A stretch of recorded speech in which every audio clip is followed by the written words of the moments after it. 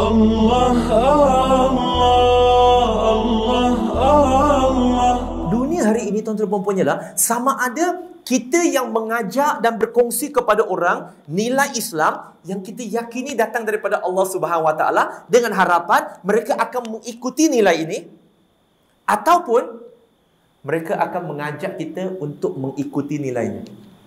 Dan andai kata tuan-tuan dan puan tak nak percaya cakap mualaf Cina ni, tak apa. Okey je.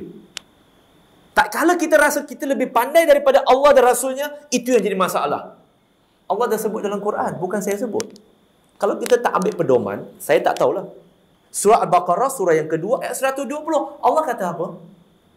Allah kata, sesungguhnya Yahudi dan Nasar, Nasrani tak akan reda dengan kamu sehingga kamu ikut agama mereka, jalan mereka.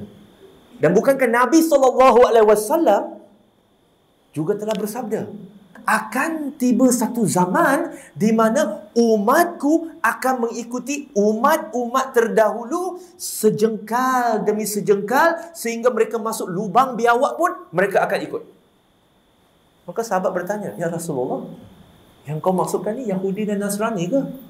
Dan Nabi bersabda, siapa lagi kalau bukan mereka? Hari ini bukankah sejengkal demi sejengkal kita masuk kita tak sedar. Anta wahabul